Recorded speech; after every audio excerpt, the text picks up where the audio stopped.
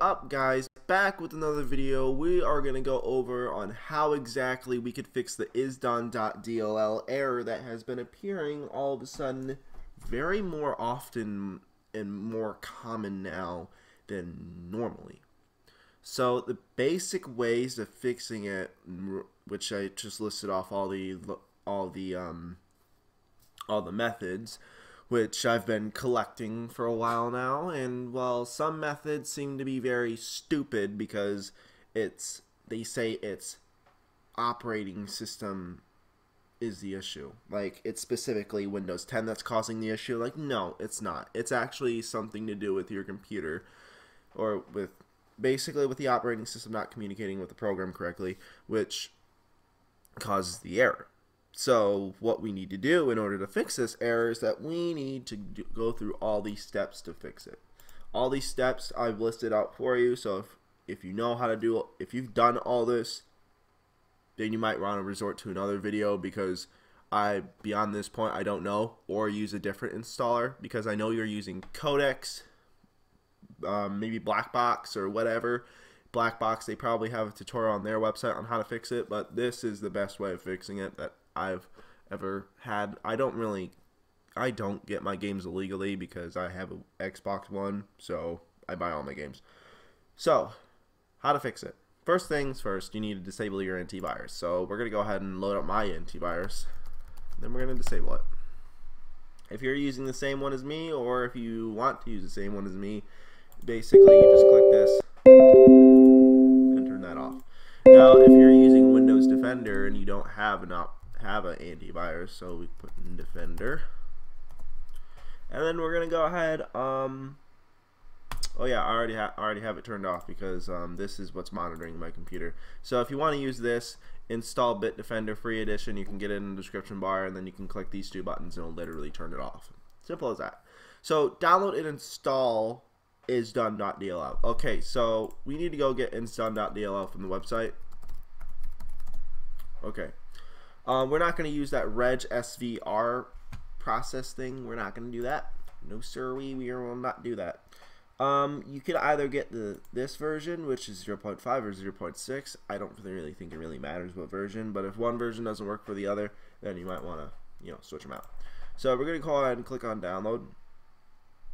And after that, once we get it, we have the file. So the file needs to be extracted right here, and then we're going to make we're going to copy it. Like Control C, copy it. We're going to go all the way over to the C drive. We're going to go straight to Windows. And then we're going to go straight to System 32. If you have a 32-bit operating system, then I would recommend you put it in here. So we click Continue. And there we go. And then we have another folder. If you're using a 64-bit version, then you go ahead and click it and put it here.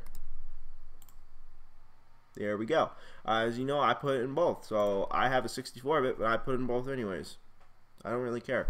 Now, the second, the third part is to run the program as administrator. Now, what does this do? This will give him almost unlimited access literally to just about everywhere.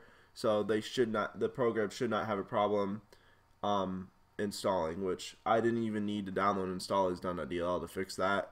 Um, another method is by changing the folder name of where the program is located. So let's see. Let's see if I can make an example. Um, let's call this folder. And inside this folder, there's a program called. Uh, let's load up Notepad and make it .exe. Program. File. Same as. Just give me a second. You don't need to change the program name, you just need to change the folder name. So I'm going to make this program.exe. Save. So as you can see, I just made an application. Not really, though. it's just a text file, so if I try to load it, see? Can't run, because it's not a real program. but um, basically, as you can see, this folder that in which the program is located in, we can go ahead and um, put in um, Let's see. Rename it like that.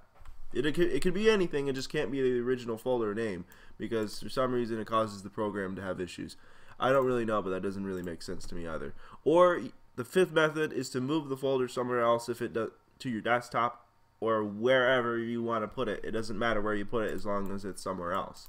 So that's about the last method that is there. If you want more methods or if you need more help and none of these methods work, well, I could scoop up around in the internet and see if I can find more methods to fix the isdone.dll error. But majority of the reason that this happens is that you might want to, the one method that's not listed on here that I did not included, which I completely forgot, is to reset and reinstall your computer. If you have a Windows 10, this is super simple. Go straight to system. I mean, go to settings, go to update and security. Sorry, I'm about to hiccup. I'm trying to stop myself. Go to recovery and reset PC. Do a clean wipe. Clean wipe. Do, remove everything. Remove every single file. Have a complete, complete reset. Because this will basically fix it.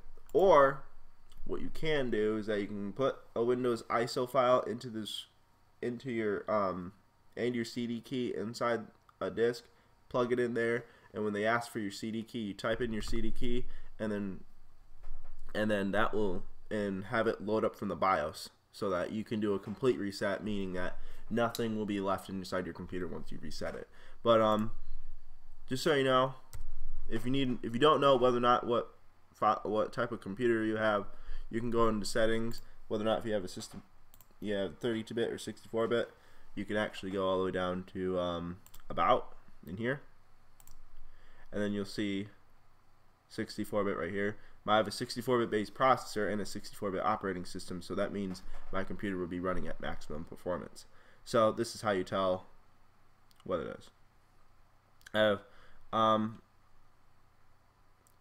um, if it says product ID, that's not my real CD key. That's just that's just nothing. You're not going to get anything out of that.